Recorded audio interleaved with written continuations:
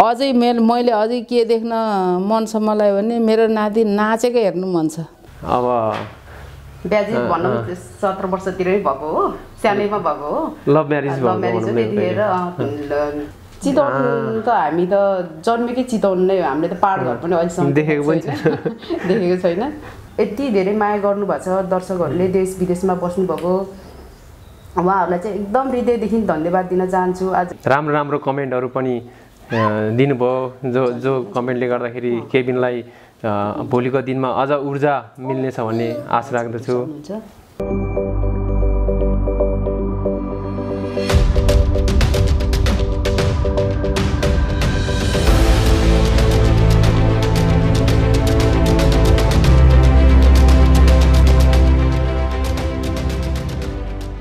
नमस्ते। तपाईँहरू सम्पूर्णमा तपाईँहरूको साथ सहयोगले गर्दा मेरो छोरा केबिन अहिले नेपाल आइडल जस्तो इन्टरनेसनल फ्रेन्चाइज सोमा टप फाइभमा पुऱ्याइदिनु भयो। राम्रो राम्रो कमेन्टहरू पनि दिनुभयो। जो जो कमेन्टले गर्दाखेरि केबिनलाई भोलिको दिनमा अझ ऊर्जा मिल्नेछ भन्ने आशा राख्दछु। मेरो पुर्ख्यौली घर चाहिँ लमजुङ डडुवा क्रपु। मेरो चाहिँ म्याग्दी स्थान। चितवन त हामी त जन्मेकै चितवन नै हो हामीले त पाहाड घर पनि अहिलेसम्म देखेको पनि छैन देखेको छैन कमेन्ट चाहिँ हेरेको कमेन्ट हेर्दाखेरिको धेरैको क्वेसन चाहिँ अब केबिनको बाबा मम्मी चाहिँ एकदम यङ हुनुहुँदो रहेछ दाइ दिदी जस्तो लाग्यो सायद कसै कसैले त बाबा मम्मी पनि होइन कि भन्ने सम्मको क्वेसनहरू पनि आएको देखियो तर त्यस्तो नसोचिदिनु होला नै हो यता पनि इष्टमित्र आफ्नो गाउँठाउँको मान्छेहरूले पनि अब देखिरहेको सधैँ सानैदेखि देखिरहेको मान्छेहरूले पनि कस्तो केबिन त तिमीहरूको बाबाआमा ए, छोरा हो भन्न नि नसआउने जस्तो छ त्यति ठुलो तिमीहरू जस्तो जस्तो देखिन्छ भन्ने किसिमको क्वेसनहरू पनि ए, भनाइहरू पनि गर्ने गर्नुभयो हा यतातिर पनि त्यस्तै हो। सायद म दुब्लो भएर पनि होला। अलि त्यो एजेड नदेखेको। त्यो पनि हुनसक्छ। अ, केबिन चाहिँ अलिकति उसको फेस चाहिँ अलि एज भन्दाखेरि अलिकति एज भन्दा अलिक- डार्क ह्यान्डसम नै भयो अलिकति- एज भन्दा एज- दुई तिन वर्ष नै बढी बढी देखिन्छ उसलाई चाहिँ। तर उसको ऊ चाहिँ अहिले ट्वेन्टी वानमा रनिङ छ। अहिले एकदमै चञ्चलले नोटिस नटी होइन गुड गर्ल छ। है? girl हो गुड गर्ल हो। दाजीलाई भनिदेऊ त बेबी। हेलो दाजी नमस्ते दाजी। गीत गाइदिनुहोस् न। होइन गीत गाउनुहुन्न बेबीले। ल ल। ल ल। कमेन्ट चाहिँ हेरेको कमेन्ट हेर्दाखेरिको धेरैको क्वेसन चाहिँ अब केबिनको बाबा मम्मी चाहिँ एकदम यङ हुनुहुँदो रहेछ। दाइ दिदी जस्तो लाग्यो। सायद कसै कसैले त बाबा मम्मी पनि होइन कि भन्ने सम्मको क्वेसनहरू पनि आएको देखियो। तर त्यस्तो नसोचिदिनु होला। नै हो। यता पनि इष्टमित्र आफ्नो गाउँठाउँको मान्छेहरूले पनि अब देखिरहेको सधैँ सानैदेखि देखिरहेको मान्छेहरूले पनि कस्तो केबिन त तिमीहरूको बाबाआमा ए, छोरा हो भन्न नि नसआउने जस्तो छ त्यति ठुलो तिमीहरू जस्तो जस्तो देखिन्छ भन्ने किसिमको क्वेसनहरू पनि ए, भनाइहरू पनि गर्ने गर्नुभयो। हा यतातिर पनि त्यस्तै हो। सायद म दुब्लो भएर पनि होला। अलि त्यो एजेड नदेखेको त्यो पनि हुनसक्छ। केबिन चाहिँ अलिकति उसको फेस चाहिँ अलि एज भन्दाखेरि अलिकति अँ, एज भन्दा अलिक- डार्क ह्यान्डसम नै भयो अलिकति- चाहिँ अलिकति ऊ देखिन्छ कि बुढो एज भन्दा एज- दुई तिन वर्ष नै बढी बढी देखिन्छ उसलाई चाहिँ। तर उसको ऊ चाहिँ अहिले ट्वेन्टी वानमा रनिङ छ। मलाई चाहिँ जहाँ पनि जसले पनि मेरो आफ्नो रियल एज भन्दा दस वर्ष चाहिँ कमै भन्छ क्या मेरो जसले पनि मेरो एज भन्नुपर्दा त्यस्तै कुराको प्रसङ्गमा अथवा कतै कु- एजको कुराहरू आयो भने मलाई चाहिँ आफ्नो रियल एज भन्दाखेरि दस वर्ष कमै गरेर भन्ने गरेको छ क्या यो कुरो चाहिँ मैले नि अनुभव गरेको कुरा हो। वास्तवमा हामी आमा बुवा नै हो। हामी चाहिँ इन्टरकास्ट हो। म तामाङ ऊ चाहिँ पुन मगर अब सत्र वर्षतिरै भएको हो। सानैमा भएको हो। लभ म्यारिज लभ म्यारिज त्यतिखेर त्यतिखेर म सत्र वर्षको थिएँ। त्यही छिटै पाएको भएर पनि होला। अनि त्यही माथि पनि छोरा फेरि अलिकति ठुलो हाइट पनि अनि त्यहाँबाट अलिक ब्ल्याक खालको अलिक कालो कालो टाइपको भएर अलिक उसको एजभन्दा अलिकति बढी देखेर पनि झन् ठुलो देखिन्छ हामीलाई आमा बाउ भनेरै पत्याउँदैन सबैजनाको कमेन्ट नै त्यही छ कि मान्छे नै अलिक ठुलो दारको छ मान्छे अलिकति ज्याङ्गो टाइपको त्यही भएर पनि उसलाई चाहिँ अलिकति ठुलै देखिन्छ र अहिले फेरि हाम्रो त्यस्तै पर्यो। फ्यामिली प्लान भनौँ अथवा के भनौँ अहिले फेरि अहिले केबिन र बहिनीको चाहिँ एकदम भास छ कि ग्याप छ कि एकदमै लङ ग्याप पहिला अब पहिला चाहिँ अब उहाँ मान्नु भएन एउटा गर्नेले एउटाले गर्छ धेरै plan चाहियो पर्दैन धेरै बनाउनु पर्दैन भन्ने अचेलको अब यस्तो महँगीको जमाना भनौँ न छोराछोरी पढाउन कति गाह्रो हुन्छ अहिले होइन? अब सबै पाएर मात्रै हुँदैन जन्म दिएर मात्रै भएन उसले भनेको चिजहरू उसले उसको इच्छाहरू भनौँ न त्यो सबै पुरा गर्न सक्यो भने आफूलाई पनि अलिक गिल्टी फिल हुन्छ भनेर बो पर्दैन भन्ने जस्तो त्यस्तो कुरा भयो। अनि पछि चाहिँ फेरि केरियालाई हुँदै गयो भनेपछि पछि आफै केबिनलाई पनि के भयो। भने एक्लो एक्लो। भएको फिल भएछ। हामीले अनि- त्यो फिल गरे। अनि हामीसँग कुरा नगरेर पनि हजुर आमासँग कुरा गर्दो रहेछ त्यस्तो अनि अनि पछि चाहिँ अनि हामीले मु- यसो mind change भयो, पछि लास्टमा गएर। अब होइन एउटा जे भए पनि अर्को चाहिँ केबिनलाई साथी त अब भोलि हामी मरिजान्छ। बामा भनेको सधैँ हुँदैन भोलि उसको एकदमै नजिकको साथी भनेको त आफ्नो सिब्लिङभन्दा अरू हुन सक्दैन रहेछ भन्ने कुरो उसले पनि महसुस गरेको कुरा भयो। अनि त्यही कारणले होइन ठिक छ नि त अब केही बिग्रेन अब भन्ने हिसाबले मुड चेन्ज भयो तर ग्यापमा चाहिँ भयो राम्रै भयो जे भयो राम्रै भयो। ढिलाइ भयो राम्रै भयो भन्ने। चाहेको थियो नि त्यो छोरी नै भयो। त्यो धेरै राम्रो। अहिले केबिन पनि खुसी छ बहिनी देखेर? त्यो त्यो देखाउने छैन तर ऊ चाहिँ एकदमै। खुसी खुसी पहिल्यैदेखि थियो। जब भयो नि त ऊ अब छ सात महिनाको पेटमा भएपछि हामीले चाहिँ। डक्टरसँग सोधेको थियौँ कि के छ भनेर। अनि त्यहाँबाट उसले चाहिँ पहिले पनि भन्थ्यो कि भाइ भन्दा बहिनी भइदिए राम्रो हुन्थ्यो भनेको तर मैले त्यस्तो भन्नु हुँदैन नि त। जन्मेपछि जे जन्मे पनि दुइटै राम्रो समान हो एउटै हुन्छ। त्यस्तो भन्नु हुँदैन जन्मे बहिनी जन्मे झन् राम्रो नजन्मे ठिकै छ भाइ पनि राम्रै त हुन्छ नि भन्ने हुन्थ्यो। अलिक पछि लास्टमा गएर झन् ऊ भयो नि त। बहिनी भयो खुसी छ। केबिन पनि एकदम खुसी अब सब परिवार खुसी भयो भन्नु पऱ्यो अब जे चाहिँ अब चाहिएको त्यही भयो एउटा हिसाबले। यस्तो हामी चाहिँ अब दुई दुवैजना एकै ठाउँको पऱ्यो त्यही भयो। अनि त्यही यहाँ भेटेको त्यहाँ भेटेको भन्दा पनि अब सधैँ देखिरहेको यताउता देखिरहेको चिन्जान जस्तै थियो। अब त्यही माथि अब त्यस्तै हुँदा हुँदा अब ल पऱ्यो भन्नु पऱ्यो एउटा हिसाबले। अनि माघी बिहा होइन बाघी बिहा बाघी बिहा गरियो भनौँ न भा भगाएर लगियो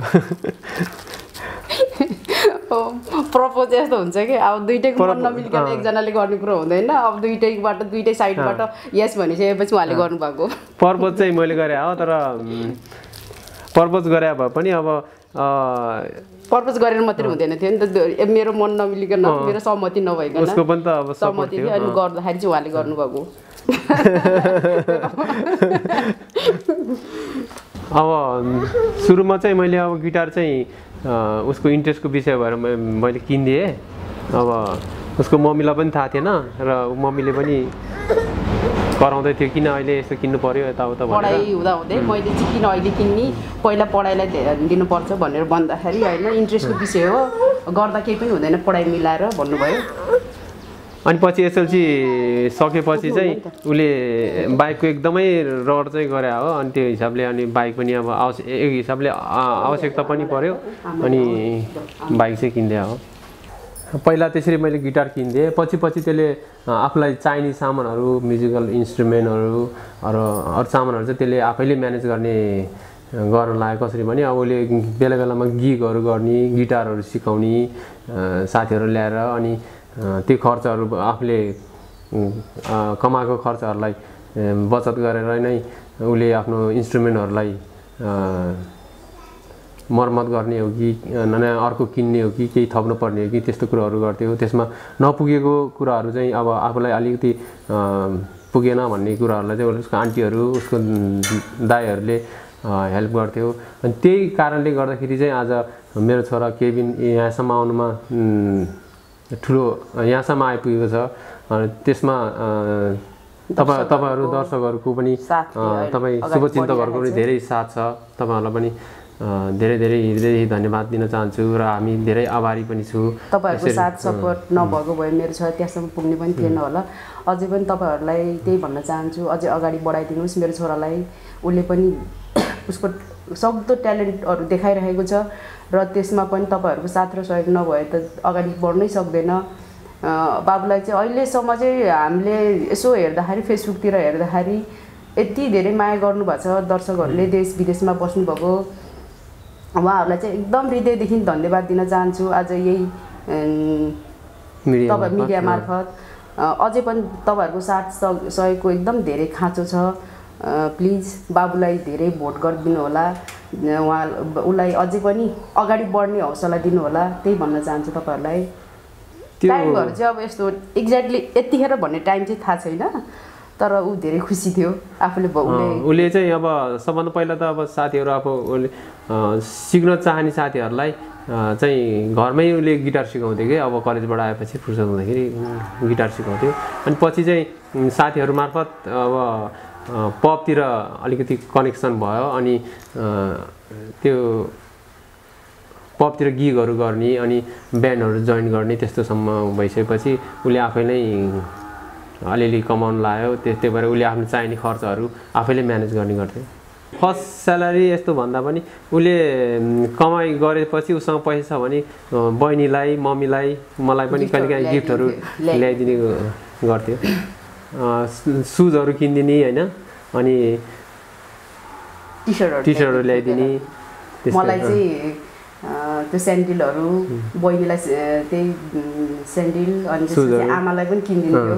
आमालाई अनि मलाई कुर्ताहरू पनि किनिदिन्थ्यो बेला बेला। कहिले काहीँ हिँड्नुमा म आज हजुरलाई के किनिदिन्छु यस्तो किन्नु के किन्नु इच्छा छ भने भन्नु भन्थ्यो। अनि पैसा चाहिँ पुगेन भने फेरि अलिअलि थप्नु है हजुरले नत्र भन्थ्यो त्यस्तो पनि भन्थ्यो। हजुरआमालाई नि किनिदिइरहेको छ। किनिदिनुहुन्छ के? उम्, किनिदिइरहेको छ। पहिलो चाहिँ मलाई होइन मलाई चाहिँ छोराले किनिदिएको बहिनी र मलाई चाहिँ सेन्डिल किनिदिएको थियो। बहिनी र बहिनी आठ महिनाको थियो। अनि मलाई चाहिँ अलिक पछि नै हो त्यो चाहिँ। त्यसमा मलाई पनि मलाई र आमालाई दुईजनालाई सेन्डिल किनिदिएको थियो उसले। टाइम टाइममा किनिदिनुहुन्छ कि? अब किनिदिन्छ भनौँ न अब अकेजनली चाहिँ त्यही हो बहिनी र मलाई सेन्डिल किनिदिएको थियो। अकेजनली चाहिँ अब हेरेर अब अकेजनली किन्ने चाहिँ बानी छ। एकदम खुसी लागेको थियो बाबुले त्यसरी गिफ्टहरू किनिदिँदाखेरि खुसी पनि लाग्यो तर अनि यस्तो पनि लाग्थ्यो। होइन? छोरा त्यो किन्नु पर्दैन हामीलाई। अब त्यो अँ, पैसा पैसा बरु तैँले आफूले म्यानेज अँ, त्यस्तो पनि अब तँलाई। चाहिने सामानहरू तैँले आफैले किन हामीले हामीलाई माग्नु परेन त्यति भएपछि तैँले आफूले म्यानेज गर्न सकिन्छ त्यसलाई हामीलाई यस्तो गिफ्टहरू ल्याइदिने जरुरत छैन भनेर मैले टाइम टाइम भन्ने त गरेको थिएँ साथीहरूसँग घुम्ने रमाइलो गर्ने हिँड्ने त उसको उसलाई उसलाई मनपर्छ। अनि साथै आफ्नो काम के हो र मैले के गर्नुपर्छ भन्ने कुरा चाहिँ उसले चाहिँ बुझेको हुन्थ्यो। घरको काम चाहिँ अब घर व्यवहार कुरोहरू उसले नहेरे पनि उसले आफ्नो जिम्मेवारी कुरोहरू चाहिँ उसलाई थाहा हुन्थ्यो। र साथीहरूसँग घुमे पनि सबै किसिमको साथीहरू छ उसको। सबै किसिमको साथीहरू छ सबैसँग हुलमिल राम्रो राम्रैसँग हिँडे पनि अब घुमे पनि उसलाई आफ्नो कर्तव्य चाहिँ बोध हुन्थ्यो। मैले यो गर्नुपर्छ मैले यो गरेर चाहिँ म यसो गर्नुपर्छ म कर्तव्य हो भन्ने कुरा चाहिँ उसलाई थाहा हुन्थ्यो। मनपर्ने चाहिँ त्यही हो साथीहरूसँग आउटिङ जाने यसो घुम्ने त्यही नै मनपर्छ त्यसो गर्दा नै ऊ खुसी हुन्थ्यो। उसलाई त्यही हो कपडा सपडाहरूमा जुत्ताहरूमा सोख छ त्यसो सपिङहरूमा त्यस पनि छ त्यो त्यस्तै त्यस्तै टाइपको अब घरमा पनि म त्यति धेरै घुलमिल भएर नबोल्ने के अरे साथीहरूसँग चाहिँ ऊ धेरै टाइम उसको कामै त्यही भएर होला। साथीहरूसँगै धेरै टाइम पास हुन्थ्यो उसको चाहिँ काम त्यही भएर होला। घरमा चाहिँ अब आयो भने चाहिने कुरा बोल्ने धेरै अर्कोले बोलेको प्यार प्यार बोलेको एउटै कुरालाई दुई तिनचोटि रिपिट गरेको चाहिँ अलिक मन पराउँदैन थियो उसले। फेसबुकमा युट्युबमा कमेन्टहरू त मैले हेरिरहन्छु। केही कमेन्टहरू चाहिँ यस्तो पनि छ। अब शुभचिन्तकहरूको कमेन्ट अब केबीलाई मात्र नभएर हाम्री ए, बाबा मम्मीलाई पनि देखियो। अब केही कमेन्ट पढेर सुनाउँछु तपाईँलाई। ल केबिनको बाबा आमा त दाइ दिदी जस्तै पो पो देखिनुहुन्छ अरे। अनि अर्को चाहिँ केबिन केबिन सम्धिको बुवा मम्मी त केबिनको दाइ दिदी जस्तै यङ देखिन्छ। अनि केबिन सम्धिको जित सुनिश्चित छ शुभकामना। केबिन भाइको बाबा आमा त दाई भाउजू भन्न सुहाउने सो यङ मैले एभ्री एपिसोड सकेर सकेको भोट गरिरहेको छु। छु है लभ लभ यु केबिन भाइ। बाउ छोरालाई त दाजु बाउ छोरालाई दाजुभाइ देखिन्छ। कति धेरै ह्यान्डसम हो केबिनको बाउ बाउ आमा त्यस्तो कमेन्टहरू चाहिँ आइरहेको हुन्छ हामी हाँसिरहेको हुन्छौँ कि? हिजोको प्रोग्राम हेरिसकेपछि ऊ टप फाइभमा सेलेक्ट भइसकेपछि मैले छोरालाई कङ्ग्रेचुलेसन छोरा भनेर म्यासेज पठाएपछि उसले थ्याङ्क यू बाबा। म पनि यहाँ बिजी छु। अलिकति फ्यान फलोवरहरूसँग पनि टचमा बस्नै पऱ्यो अनि गीतहरू प्र्याक्टिसको लागि यताउता म बिजी नै छु। मिस गरिरहेको छु तपाईँहरूलाई भनेर लेख थियो थोरै छोराले पनि। ओ केबिनको कुराले गर्दाखेरि मलाई यस्तो मलाई यस्तो फिल पनि हुन्छ कि कहिलेकाहीँ म आफै पो सेलिब्रेटी भएको हो कि जस्तो हिसाबले फ्यान के अरे फ्रेन्ड रिक्वेस्टहरू एकदमै आउने एकदमै आउने अनि म्यासेजहरू पनि त्यत्तिकै आउने कतिपयले कल कलै गर्ने। म केबिनको फ्यान बिग फ्यान हो मैले केबिनलाई यसरी सपोर्ट गरेर छु। अब म कोही विदेशबाट म फलाना ठाउँ यो म विदेशबाट हो केबिनलाई यसरी सहयोग गरेछु। अथवा तपाईँ त केबिनको बाबा आमा हुनुहुँदो रहेछ धन्यवाद। तपाईँलाई धेरै बधाई छ केबिन जस्तो ट्यालेन्ट छोरा जन्मिनु भएकोमा। भन्ने यस्तो विभिन्न किसिमको राम्रो राम्रो कमेन्टहरू कम्प्लिमेन्टहरू। पाइरहेको छु मैले पनि छोराले गर्दा। एकदम खुसी लाग्छ उहाँ त एकदम बिजी नै भइरहनु भएको छ अहिले चाहिँ कि यो छोरा आइ आइडलमा गइसकेपछि छोरा चाहिँ कतिको बिजी छ त्यो उसलाई थाहा होला त्योभन्दा धेरै बिजी चाहिँ उहाँ हुनुहुन्छ कि। त्यस्तो गर्दाखेरि चाहिँ खुसी लाग्छ उहाँ छोरालाई धेरै सपोर्ट गरेको रहेछ जनताहरूले धेरै माया गर्नुभएको रहेछ भनेर एकदम खुसी लाग्छ त्यो देख्दाखेरि चाहिँ। अब कतिपय फ्यानहरूको रेस्पोन्स मैले मैले दिन पनि सकेको छैन। मलाई पनि अब घरको व्यस्तता अनि त्यो त्यसलाई पनि अब म्यानेज गर्नुपर्ने भएर कतिपयलाई चाहिँ मैले रेस उत्तर दिँदा पनि अब रिप्लाई दिँदा पनि ढिलै दिएछु। माइन्ड नगरिदिनु होला। म पनि धेरै धेरै माफी माग्न चाहन्छौँ तपाईँहरूलाई है। त्यस्तो अन्यथा केही नसम्झिनु होला। धन्यवाद सम्पूर्ण शुभचिन्तक दर्शकहरूलाई। केबिन चाहिँ अहिले ऊ व्यस धेरै व्यस्तताको कारणले गर्दा उसले आफ्नो कमेन्ट म्यासेजहरूलाई रिप्लाई दिन सकेको छैन रेस्पोन्स दिन सकिरहेको छैन।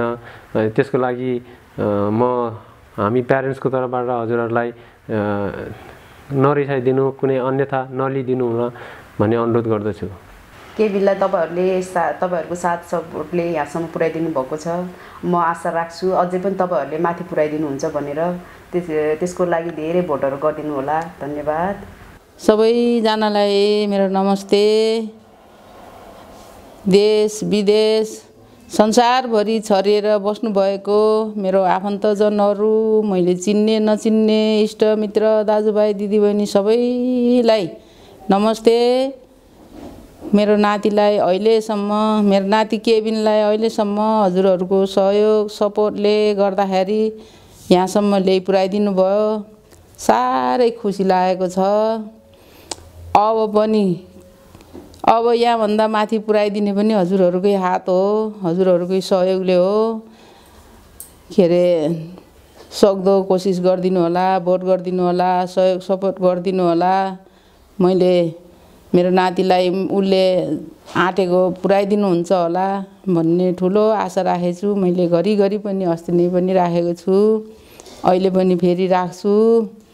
म त मेरो नाति त सानै छ यसो भुइँतिर हिँड्ने छ जस्तो लाग्थ्यो। अहिले अहिले गर्दै जाँदाखेरि अब त्यहाँसम्म पुगेछ साह्रै खुसी लाग्यो। अझै अझै माथि जानु छ उसले धेरै कोसिस गरिराखेको छ त्यो ठाउँमा गएर कलिलो उमेरमा दुःख कष्ट गरिराखेको छ। उसलाई तल हामीले सहयोग सपोर्ट गरेर उकास्नु पर्ने छ। सबैजनालाई मेरो बिन्ती छ सबैजनाले सहयोग गरिदिनु होला सपोर्ट गरिदिनु होला भन्ने आशा राख्छु। मेरो नातिले गीत गाएको।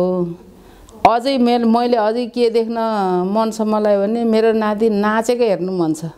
नाच्न चाहिँ उसलाई आउँदैन। त्यही पनि अस्ति म गएँ म जाँदा ऊ अलिअलि नाचे पनि झन् खुसी लाग्यो मलाई। मेरो नातिलाई मैले उहीँ पनि भनिराखेको छु बाबु नाच्ने पनि अलिकति सिक्नुपर्छ है। गीत गाउने मान्छेले अलिअलि नाच्नु पनि पर्छ भनेको थिएँ। कोसिस गर्छ होला जस्तो लाग्छ। हौसला बढाइदिनुहोस्। सबै भएर हौसला बढाइदिनुहोस्।